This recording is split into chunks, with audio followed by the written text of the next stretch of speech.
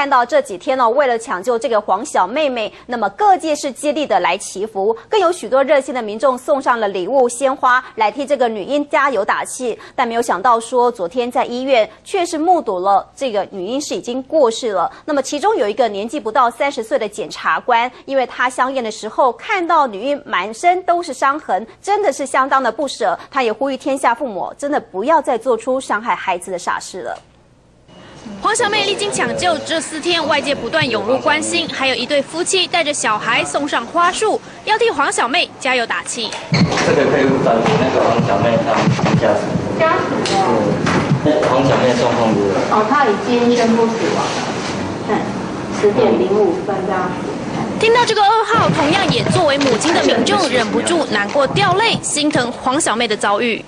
天下应该没有这么悲惨的事了，嗯，所以对对这件事情是很痛心啊。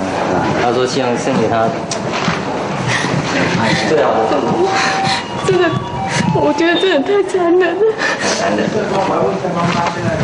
更有民众特地从台北南下，要送烫伤药给黄小妹，但目睹的却是这一幕。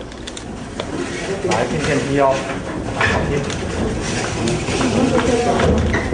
就是好可怜啊，送药来了，对，送送那个药很贵。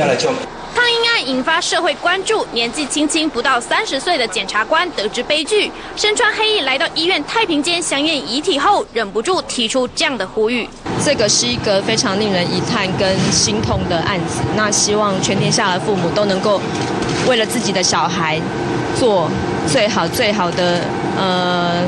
打算跟生活上的安排，因为小孩真的是无辜的。